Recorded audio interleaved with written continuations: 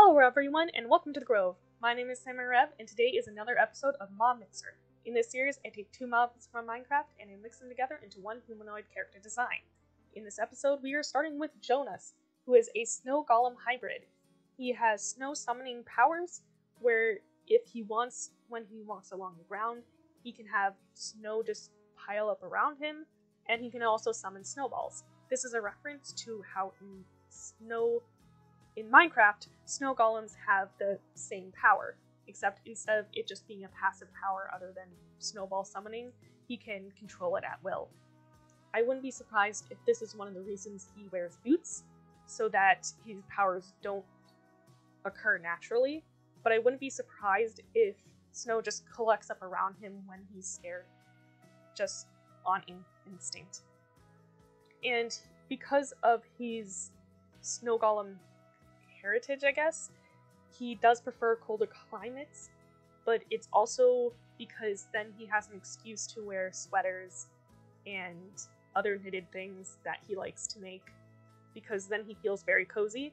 So it is both a preference because of who he is, but also because then he can wear his creations in clothes that he enjoys wearing. For this hood, I decided to design it off of a jack o' lantern because you can remove the jack o' lantern off of snow golems. So then that's why it has this zipper, so he can just open it up or put it back if he wants. But you do use a jack o' lantern, or at least a carved pumpkin, to create snow golems in Minecraft. So it's sort of like a reference to that. I also wanted to include this detail of sort of this braided edge to his sweater jacket because it would add more roundness to his design because he's supposed to be a likable character. And in shape language, from what I could remember, round means more friendly. And so I wanted to add that to his design because he is supposed to be a more friendly and innocent character. He's supposed to be someone who is outgoing and caring, or even if he isn't out.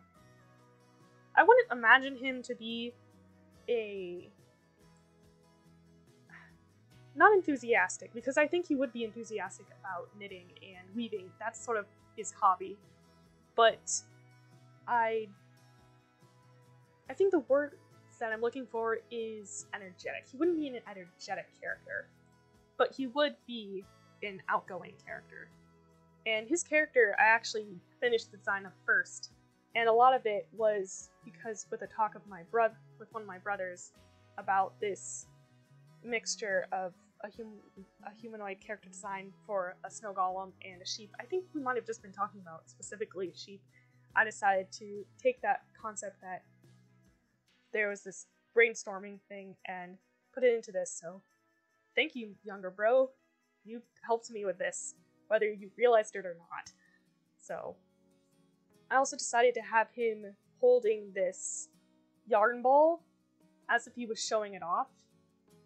Like, this is one of the yarns that I create with. And I decided to have Jonas wearing this bag because that's where he would store all of his supplies. He might have hoodies in there, he might have scarves, he might have just general sewing, weaving, or knitting supplies in there, depending on what exactly he's doing, either what commu- what activity he wants to do, or what, or if he's just going out for the day.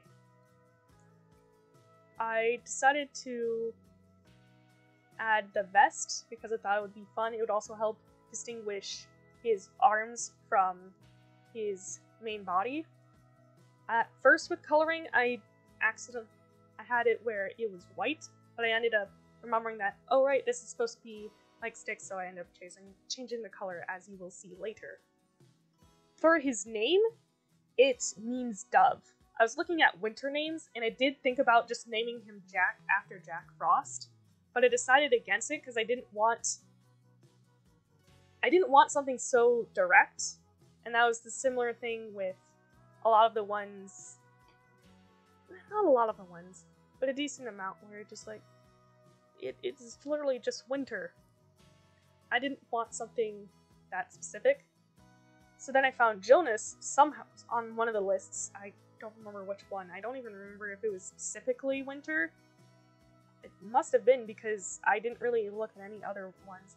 And I found Jonas and it means dove. He's supposed to be an innocent character and one that goes after peace.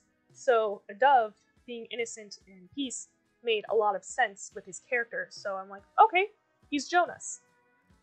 It just made sense. And then his last name, Froster, Froster, is supposed to allude to another name called uh, Foster, which I remember being a last name, and I but it would still have this sort of idea of frost in it, so it'd still be wintry. I still wanted some winter element. And then this, the skirt, I did debate doing sort of like pants or snow pants, but then I remembered that I wanted to continue the shape of a snow golem. And so I did think about him wearing a long skirt, but then he wouldn't move around as easily. So I decided a short skirt. So I just ended up wearing a skirt. It's a little wide and I had trouble with the feet. I end up having a lot of trouble with the feet right here. But I do change it, eventually get it to something where I like. I ended up having to move the feet so I can actually get them placed correctly and adjusting the skirt. I realized this with Adolin, with Jonas, and in this next person with Daisy, that I need to get better on my feet placements because sometimes they are not good. If they are with pants or like shirt or shorts where you have the definitive, oh, this is clearly where the legs are, then it's fine. If it's without the legs, then I have trouble. So that's one of the areas that I need to improve in my art. So this was a good opportunity to see where I needed to improve because trying to redraw them on the computer is not easy because I don't have a drawing tablet, so I just use pads. I'm fine without the drawing tablet, and I like drawing traditionally because I have more control either way. But I ended up finding some way to make it look okay. And I ended up going closer to what the sketch actually had for the skirt, so I'm not mad at it at all. So I think this is when I'm. Oh, yeah. For this expression, all like most of the references of the jack o' lanterns that I was looking up for Minecraft sort of looked like the jack o' lantern was scowling. So, and I didn't like that. So I just decided, oh, I'm gonna make it look like it's a happy face because that would make sense for Jonas. So that's what I did. And then now I'm taking the coloring palettes from the snow golem in my Minecraft and the white sheep in Minecraft. The white sheep would have more grayer tones, but I think it would be just an extension of the white tones from the snow golem so that it would be easier for the clothing. So I'm trying to find. It took me a while, like a little bit of time to get the right combination.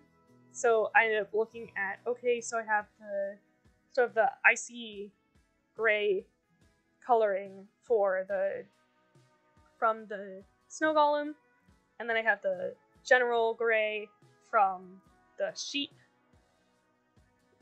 and I had to like mix those.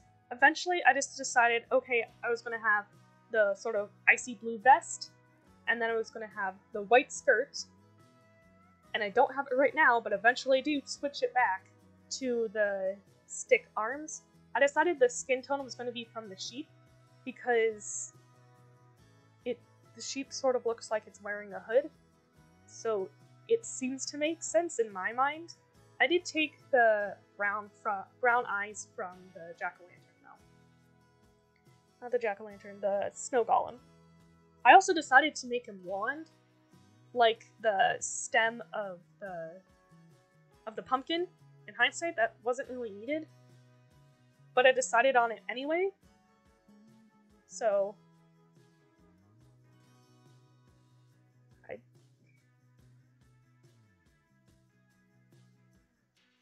here I'm adding I'm trying to find a good color for the jack-o'-lantern top. I decided to just take a jack o' lantern itself, except I was finding ones that seemed a bit too dark because it was in shadow.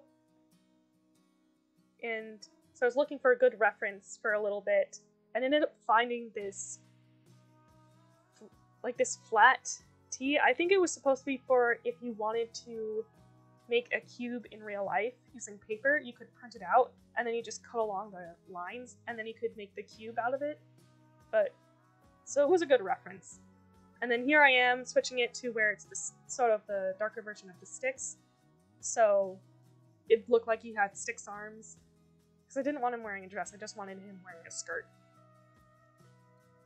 And so here I had the idea of, oh, I could actually use pink, so he's like showing off the coloring of his of his knitting. So and one tip that I liked or at least one thing that I like to use is the exclusion tool for selecting, because then I can select a certain area and just fill in the whole selection. So that's a fun tool.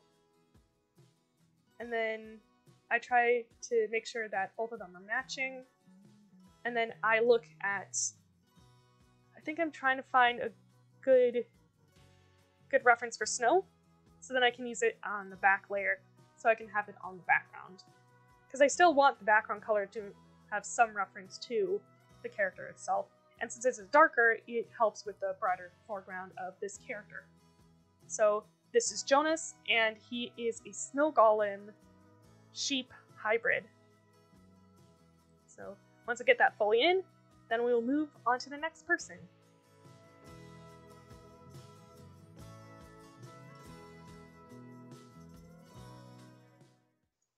Our next person is Zhang Daisy. I apologize if I pronounced that last name wrong. I was trying to find a good Chinese surname because I wanted to include some Chinese elements because she is supposed to be a panda Moo Bloom hybrid. Except Moo Blooms aren't actually in Java Minecraft, which is what I'm using to reference for for these mobs. And so I was looking and I was trying to find it I was trying to find a substitute and decided I'm just going to do Moo Bloom because that's not just straight cow, but it's more fanciful. So that's why she also has this mushroom cap on her head because I saw that was a lot of designs and I decided to use this strap to connect it to her head. Like with Jonas and wanting more round language, I decided to add round glasses, sort of her like her eyes with some of the cartoon styles that I enjoy looking at. So I added her large round glasses into her design. Then for personality, again, like Jonas, she's supposed to be more of a innocent character. For her, she is the main gardener and far- farmer at the village that I'm sort of creating with these overworld characters. And just like Jonas, she's sort of I don't want to say reactionary, but she is more of a side character who has her own story going on, but at least going into it, she's more of a crossfire character. And what I mean by that is that how the main characters treat her sort of impacts how they are characterized and how she reacts to the things going on around her is part of her character So being caught in the crossfire of the events of the plot. But taking a she would have chances to grow where she gets more active. Instead of being reactive, she would be proactive. And that's sort of what she would be. So she would mainly be this humble farmer, being a gardener, but then maybe her farm gets burnt down or something happens where she has to not just be that side of the of her characterization, but she also has to go above above and beyond with who she is. Moving on to the rest of her outfit, I was looking at Chinese styles and I couldn't find anything exactly what made me think, "Oh, this could work."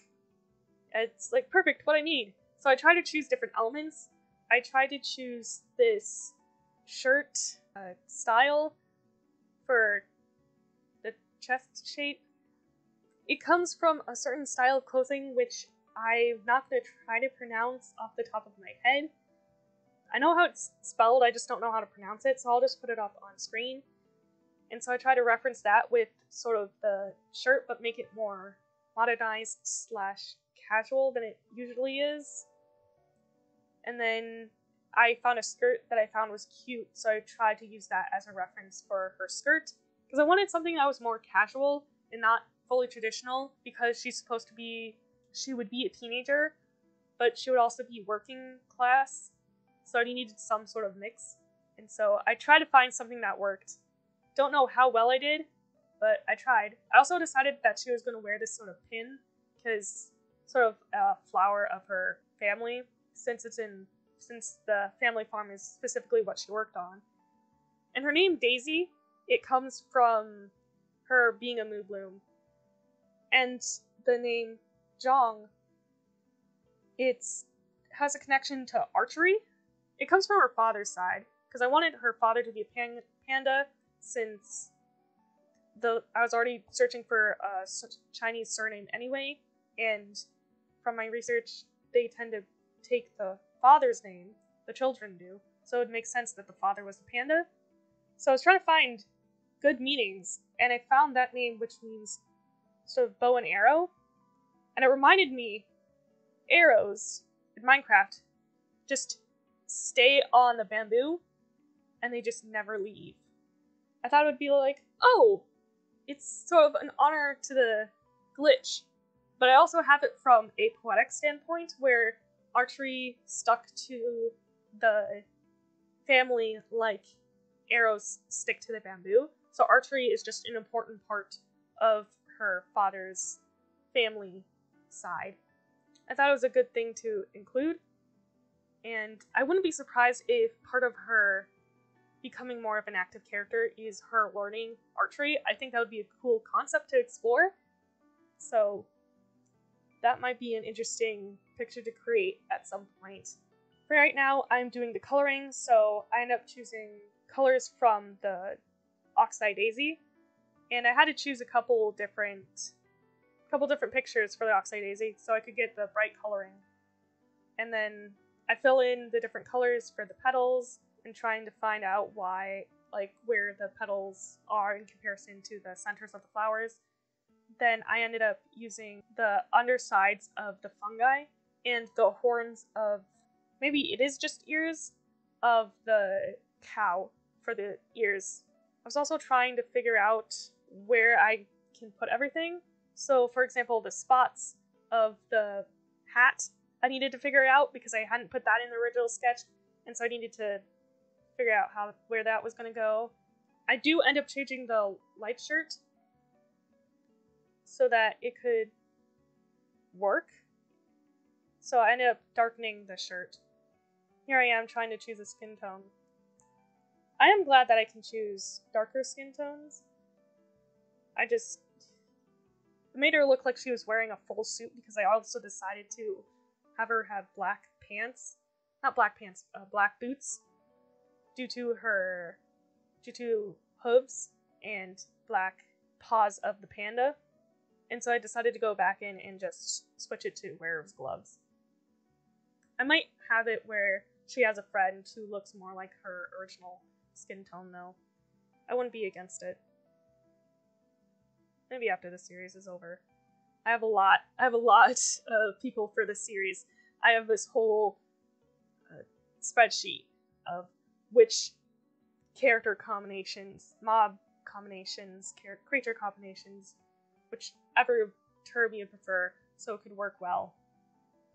So I have a lot in store, but I'm really excited for what it's going to be.